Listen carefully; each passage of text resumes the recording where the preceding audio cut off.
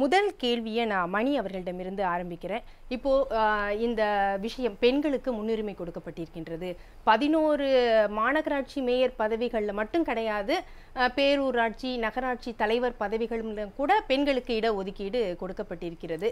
இந்த விஷயத்தை எப்படி வந்து நம்ம எடுத்துக்கிறது? அடுத்தடுத்து இது திமுகவுடைய பயணத்தில் எப்படி பார்க்கப்படும்?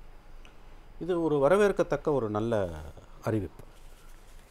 இப்போ நம்ம வந்து ஆயரரூபா கொடுக்குறோம் ஐநூறுரூபா கொடுக்குறோம் இல்லை அஞ்சாயிரரூபா கொடுக்குறோன்றதெல்லாத்தையும் தாண்டி பொலிட்டிக்கல் எம்பவர்மெண்ட்டுன்னு நம்ம சொல்லுவோம். பெண்களை வந்து பதவியில் அமர்த்தி அவர்களுக்கு அதிகாரத்தை அவர்கள் கையில் கொடுப்பது என்பது சாலச்சிறந்தது. நம்ம முப்பத்தி மூன்று சதவீத இடஒதுக்கீட்டிற்காக பல ஆண்டுகளாக போராடி கொண்டிருக்கோம் நாடாளுமன்றத்தின் மாநிலங்களவையில் நிறைவேறிய அந்த தீர்மானம் பத்து ஆண்டுகளுக்கு மேலான பிறகும் இன்னமும் மக்களவையில் நிறைவேற்ற முடியாமல் இருந்து கொண்டிருக்கிறது.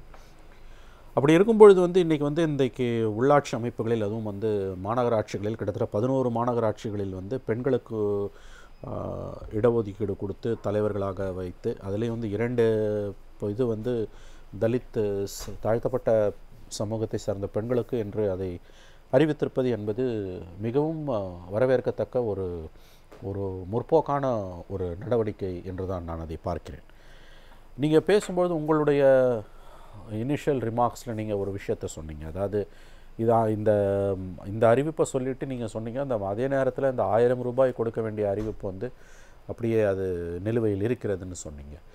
அது உண்மைதான். அவங்க மேனிஃபெஸ்டோவில் சொல்லிவிட்டு அதை நிறைவேற்ற முடியாமல் இன்றைக்கி கஷ்டப்படுறாங்கன்றது நமக்கு தெரியுது. பட் அதை விட முக்கியம் நான் வலியுறுத்த விரும்புகிறது என்னென்னா என்னை பொறுத்த வரைக்கும் அந்த ஆயிரம் ரூபாய் கொடுக்குறோன்றத அந்த வாக்குறுதியை அவர்கள் தவிர்த்திருக்கலாம். இன்னும் சொல்லப்போனால் அவங்க அந்த மேனிஃபெஸ்டோ ரிலீஸ் பண்ண அன்னைக்கு நான் வேற ஒரு தொலைக்காட்சி வாதத்தில் பேசும்போது இது நிறைவேற்ற முடியாத வாக்குறுதி என்று நான் ஆதாரங்களோடு வாதிட்டேன். அப்போ திமுக செய்தி தொடர்பாளரும் அவர்களுக்கு ஆதரவாக பேசியவர்களும் கடுமையாக அதை என்னை எதிர்த்து பேசினார்கள். இன்றைக்கி வந்து அந்த நிதி நெருக்கடி காரணமாக அவர்களால் அதை நிறைவேற்ற முடியவில்லை. அது ஒரு அது ஒரு குறைதான் இல்லை என்று சொல்லவில்லை. ஆனால் அதை நிறைவு செய்யக்கூடிய விதத்தில் வந்து வேறு சில வாக்குறுதிகள் நிறைவேற்றப்பட்டிருக்கின்றன. குறிப்பாக இன்றைக்கு நேற்றைக்கு வந்திருக்கக்கூடிய இந்த அறிவிப்பு என்பது முழுவதும் வரவேற்கத்தக்க ஒரு அறிவிப்பு. இதில் வந்து நம்ம என்ன பார்க்கணும்னு கேட்டிங்கன்னா வந்து இப்போ இந்த மாநகராட்சிகளுக்கான இந்த தேர்தல் என்பது இன்டைரக்ட் எலெக்ஷனாக நடக்க போதா அல்லது டைரக்ட் எலெக்ஷனாக நடக்க போதான்றது ஒரு முக்கியமான விஷயம். எனக்கு கிடைத்த தகவலின்படியும் வரக்கூடிய அறிகுறிகளின்படியும் பார்த்தீர்கள் என்றால் வந்து it's going to be indirect election. நேர் மறைமுக தேர்தலாகத்தான் அது நடக்கப் போகிறது. நேரடி தேர்தல் நடந்தால் இதில் சிக்கல்கள் வரலாம். ஏன்னு கேட்டிங்கன்னா வந்து தலித்துகளை நீங்கள் எம்பவர் பண்ணும்போது அதற்கு இணையாக வந்து பல நேரங்களில் வந்து பிற்படுத்தப்பட்ட சமூகத்தினரோட எதிர்ப்பை வந்து எந்த ஒரு ஆளும் கட்சியுமே வாக்கு வங்கி அரசியலில் இருக்கக்கூடிய கட்சி சந் சமாளிக்க வேண்டிய எதிர்கொள்ள வேண்டிய ஒரு துர்பாகியமான நிலைமைக்கு தள்ளப்படுகிறது. அந்த விதத்தில் அதிலிருந்து திமுக வந்து சாதுரியமாக இப்போ தப்பித்து கொண்டதுன்னு தான் நான் நினைக்கிறேன். என்னை பொறுத்த வரைக்கும் இந்த தடவை அவங்க இன்டைரக்ட் எலெக்ஷனுக்கு தான் போக போகிறாங்க எப்படி பார்த்தாலுமே வந்து இந்த பதினோரு மாநகராட்சிகளை பெண்களுக்கு ஒதுக்கியதும் அதில் ரெண்டை வந்து குறிப்பாக வந்து தாழ்த்தப்பட்ட சமூகத்தை சார்ந்த பெண்களுக்குன்னு ஒதுக்குனதும் வரவேற்கத்தக்க ஒரு நல்ல முடிவுன்னு தான் நான் பார்க்குறேன். சரி இது உங்களுடைய முதல் சுற்று பார்வையாக நான் எடுத்துக்கிறேன். இப்போது இந்த அரசியல் பின்புலம் இல்லாமல் ஒரு தனித்துவமான திறமையான நேர்மையான பெண்கள் இந்த மாதிரி பதவிகளுக்கு வருவதற்கு வாய்ப்புகள் இருக்கிறதா? இல்லை வர முடியலன்னா என்னென்ன விஷயங்கள் எல்லாம் அங்கே முட்டுக்கட்டையாக இருக்குது? இப்போ வர ஆண் அரசியல்வாதிகள்லாம் யோகிய சிகாமணிகளா? எல்லாரும் ராமரோட மறு அவதாரமா? முள்ள மாதிரி முடிச்சவைக்கு மன்னிக்கணும்.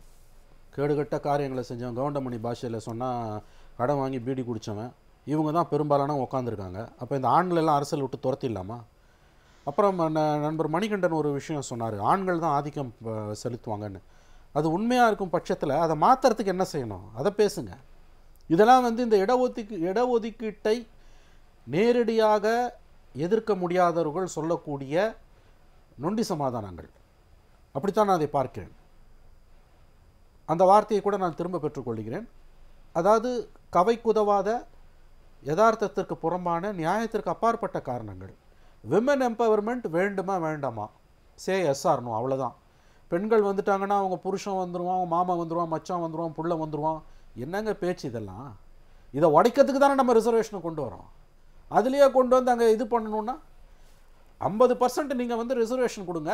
அதை கொடுக்க மாட்டேன்றீங்க. அட்லீஸ்ட் தேர்ட்டி த்ரீ பர்சன்டாவது கொடுன்னா கொடுக்க முடியல அப்படின்னும் போது இன்னமும் பன்னெண்டு பதினாலு வருஷமாக போராடிட்டு இருக்கோம். மாநில அரசுகள் தங்களால் ஆன காரியங்களை செய்யும்போது அது கெடுக்கிற மாதிரி காரியங்களில் பலரும் ஈடுபட்டு கொண்டிருக்கிறார்கள். இன்னொன்று ஒன்று நல்லா புரிஞ்சுக்கோங்க நீங்கள் வந்து. கட்சிகளில் வந்து அரசு வந்து இடஒதுக்கீடு கொடுக்காம கட்சிகளில் வந்து எம்எல்ஏல ஐம்பது பர்சன்ட்டோ கட்சியில் ஐம்பது பர்சன்ட்டோ கொடுக்குறதுன்றது நடைமுறைக்கு ஒவ்வாதது. ஏன்னு கேட்டிங்கன்னா ஒரு எம்எல்ஏ சீட் கொடுக்கும்போது வின்னபிலிட்டியை பார்த்து தான் கொடுக்குறோம். நீங்கள் வந்து சட்ட ரீதியாக ஏன் எந்த ஒரு பிரச்சனைக்கும் நம்ம வந்து லீகல் ப்ரொடெக்ஷன் வேணும் லீகல் சாங்டிட்டி வேணும் கான்ஸ்டியூஷனல் சாங்டிட்டி வேணும் நம்ம சொல்கிறோம் அப்போ தான் எல்லாரும் கொடுப்பான். முப்பத்தி மூணு சதவீதம்ன்றது அரசியல் அமைப்பு சாசனத்தில் ஏற்படுத்தக்கூடிய திருத்தத்தின் மூலமாக கொண்டு வருவதன் மூலமாக அனைத்து கட்சிகளும் வந்து அதை கொடுக்கும். மாறா கட்சிகளை இந்த வாதம் பதினான்கு ஆண்டுகளாக பேசி பேசி பேசி சலித்து போன புளித்து போன வாதம் இது. அரசியலமைப்பு சாசனத்தோட மாற்றத்துக்காக நீங்கள் ஏன் வந்து வெயிட் பண்ணுறீங்க எல்லா பெரிய கட்சிகளுமே வந்து அவர்களுக்குள் ஒருமித்த கருத்தை எட்டி முப்பத்தி மூன்று சதவீதத்தை நாங்கள் பெண்களுக்கு கொடுக்குறோம்னு சொல்லிட்டீங்கன்னா பிரச்சனை தீந்துருமே நாங்கள் இல்லை தீராது. எப்படி தீரும்? முதல்ல எந்த தொகுதியும் நீங்கள் முடிவு பண்ணுவீங்க அதில் கட்சிகளுக்குள்ளே ஒற்றுமை வராது. ரெண்டாவது நம்ம இப்போ சொன்ன மாதிரி நீங்கள் ஒரு தொகுதியில் வந்து வேட்பாளரை நிறுத்தும்போது அங்கே வந்து வின்னபிலிட்டி நம்ம ஒன்று சொல்கிறோம் ஜாதி அங்கே ஒரு ப்ளே பண்ணுது. கேண்டிடேட்டோட ப்ரொஃபைல் ஒரு முக்கியமான விஷயமா இருக்குது. ஸோ இது எல்லாத்தையும் பார்க்கும்போது முதல்ல நமக்கு தேவை வந்து லீகல் ப்ரொடெக்ஷன் அதனால தான் நம்ம முப்பத்தி மூணு சதவீத இந்த விஷயத்துக்குள்ள கூட ஒரு ஜாதியை பார்க்குறோம் அடுத்தது இந்த நீங்க சொல்ற மாதிரி வெற்றி பெறுவதற்கான வாய்ப்புகள். இதுல கூட அந்த பெண்கள் அப்படிங்கிற லிஸ்ட் வர்றாங்க இல்லையா? அதையே முன்னிறுத்தல? மாற்றங்கள் அப்படின்னு நம்ம பார்க்கும்போது இப்ப ரிசர்வேஷன் கொடுத்து கொஞ்சம் கொஞ்சமா நம்ம மாத்தணும். அடுத்த லெவலுக்கு நம்ம என்ன பண்றதுன்னு யோசிக்கணும்னு நம்ம பேசுறோம் இல்லையா? அப்படி பண்ணும்போது ஆரம்பத்துல இந்த மாதிரி சிக்கல்கள்லாம் வரதானே இருக்கும். அதையும் சமாளித்து பெண்களை முன்னிறுத்த வேண்டியது தானே முக்கியமான விஷயமா. இருக்கும். அதுதான் இன்று அரசு செய்திருக்கிறது. இப்போ பதினோரு மாநகராட்சியில் பெண்களுக்கு நாங்கள் ஒதுக்குறோம்ன்றதை வந்து ஏன் வரவேற்கணும்னு கேட்டிங்கன்னா எந்த கட்சியில் கேண்டிடேட்டை போட்டாலும் அவங்க பெண்களை தான் போட்டாகணும் அதில் மாற்று கருத்துக்கு இடமே கிடையாது. தலித் பெ பெண்கள் தாழ்த்தப்பட்ட சமூகத்தை சேர்ந்த ரெண்டு பெண் மேயர்கள் சென்னைக்கு செங்கல்பட்டுனா அதில் எந்த கட்சியாக இருந்தாலும் தாழ்த்தப்பட்ட சமூகத்தை சேர்ந்த பெண்களை மட்டும்தான் போட முடியும். அதில் வந்து ஒரு கட்சி விரும்பினாலும் விரும்பாட்டியும் அதை அப்படி தான் செய்ய முடியும். அது டைரக்ட் எலெக்ஷனோ இன்டைரக்ட் எலெக்ஷனோ எப்படி வேணால் இருந்துட்டு போட்டோம் முதல்ல இந்த ரிசர்வேஷன் நடைமுறைக்கு வரட்டும். அதனால தான் முப்பத்தி மூணு பர்சன்ட் இடஒதுக்கீட்டில் வந்து உள் ஒதுக்கீடு கேட்டு முலாயம் சிங் யாதவ் வந்து தகராறு பண்ணுறாரு இன்னமும் பண்ணுறாரு அப்போ கலைஞர் ஒரு பாயிண்ட் சொன்னார். கலைஞர் வந்து இடஒதுக்கீட்டில் கலைஞர் எவ்வளவு வந்து விடாப்பிடியாக இருந்தவர் அவரால் தான் வந்து இங்கே இடஒதுக்கீடு இந்த அளவுக்கு வந்ததுன்றது நமக்கு நல்லா தெரியும். கலைஞரை பிடிக்காதவர்களுக்கு கூட வந்து இடஒதுக்கீடு விஷயத்தில் குறை சொல்ல முடியாது அவரை. அவரே என்ன சொன்னார்னா முலாயம் சிங்கத்தோட இந்த பாயிண்ட் வந்தப்போ இது வந்து முப்பத்தி மூணு சதவீத இடஒதுக்கீடு என்பது ம- வந்ததுன்னா அதில் உயர் ஜாதி பெண்கள் ஆதிக்க சமூகங்களை சார்ந்த பெண்கள் தான் முப்பத்தி மூணு சீட்டு போய் அவங்க உட்காந்துருப்பாங்க அதனால் உள் ஒதுக்கீடு வேணும்னு முலாயம் சிங் யாதவ் சொல்கிறாரு அதனை அப்புறம் பார்த்துக்கலாம். முதல்ல இடஒதுக்கீட்டு வரட்டும்னாரு. யார்? கலைஞர் மாதிரி ஒரு தலைவரே அதை சொல்கிறார் இடஒதுக்கீட்டில் வந்து ஆர்வமாக உள்ளவர். ஆகவே இந்த மாதிரியான இடஒதுக்கீடுகள் வரும்போது நம்ம அதில் சில குறைகள் இருந்தாலும் முதல்ல அதை நம்ம வரவேற்கணும். அப்புறம் பொங்கலூர் மணிகண்டன் சொல்வது வந்து ரொம்ப என்னை பொறுத்த வரைக்கும் வந்து அது ஒரு நெகட்டிவான ஒரு அவுட்லுக் அது.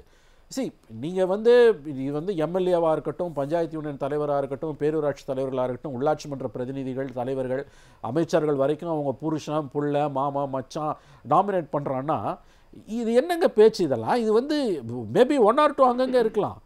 கம்ப்ளீட்டாக வந்து அப்போ வந்து அவங்க எல்லாருமே வந்து சுய புத்தியும் சுய மரியாதையும் இல்லாதவங்களா? எப்படி இதை வந்து இதை வச்சு நம்ம எப்படி வந்து ஒரு இடஒதுக்கீடை விமர்சனம் பண்ண முடியும்? இல்லை அதுக்கு ஏதாவது சட்ட பாதுகாப்பு கொண்டு வர முடியுமா? ஒன்றும் பண்ண முடியாது. ஆகவே இந்த இடஒதுக்கீடு என்பது வந்து பெண்களுக்கான இடஒதுக்கீடு என்பது சட்ட ரீதியாக மட்டுமே சாத்தியப்படக்கூடிய ஒன்று நீங்கள் கட்சிகளோட முடிவுக்கு அதை விட்டுட்டு நீங்கள் வந்து முப்பத்தி மூணு சதவீதத்தை கொடுத்துருங்க அப்படின்னு சொன்னீங்கன்னா ஒருபோதும் அது நடைமுறைக்கு வராது. எந்த கட்சியும் அதை செயல்படுத்தாது. அப்புறம் ஒரு கட்சிக்குள்ளே நீங்கள் மாவட்ட செயலாளரையோ பொதுச் செயலாளரையோ ஐம்பது பர்சன்ட்டோ முப்பது பர்சன்ட்டோ கொடு அப்படின்னு சொல்கிறது வந்து அதில் அதில் இருக்கக்கூடிய சிக்கல் வந்து அங்கே வந்து வேறு பொலிட்டிக்கல் கன்சிடரேஷன்ஸ் வருது.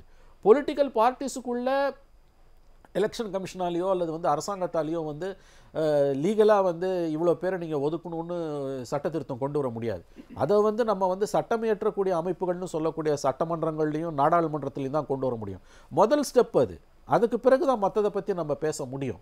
ஆகவே இந்த இந்த இடஒதுக்கீட்டை இந்த ப ப இந்த ப- பெண்களுக்கான இந்த பதினோரு பதினோரு மாநகராட்சிகளை ஒதுக்குனதை வந்து அவங்க இப்போ குடும்ப உறுப்பினர்கள் டாமினேட் பண்ணுவாங்கன்ற விமர்சனத்தை முன்வைப்பது என்பது மிகவும் ஒரு தவறான பிற்போக்குத்தனமான கருத்து. அதை நண்பர் மாற்றிக்கொள்ள வேண்டும் என்று கேட்டுக்கொள்கிறேன்.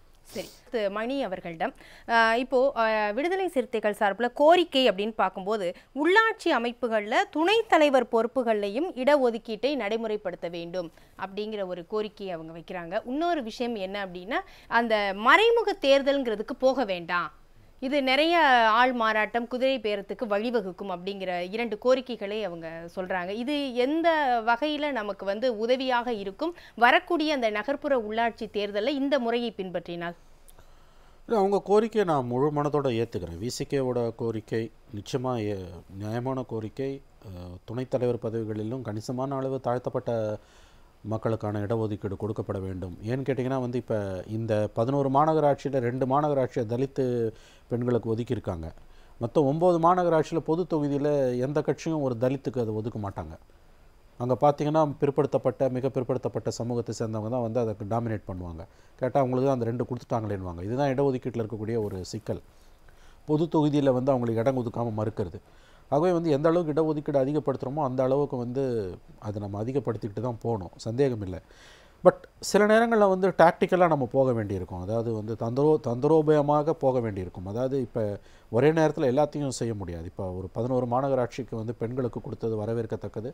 அதில் ரெண்டு பெண்களுக்கு தலித் பெண்களுக்கு கொடுத்தது இன்னமும் வரவேற்கத்தக்கது.